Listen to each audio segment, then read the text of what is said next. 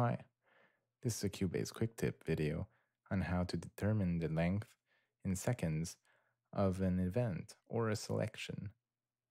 So I have this drum loop. If I select it, um, by default, usually I'm using bars and beats. So if I go up here in the info line, I'll see length. These are in bars and beats and um, are not very useful for now. I want seconds, so I go down here select primary time format.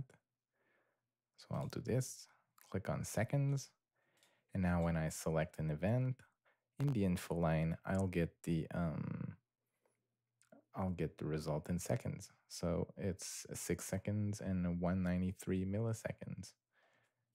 If I do a selection now with my selection tool, this range length is 1 minute 42. That's a quick tip.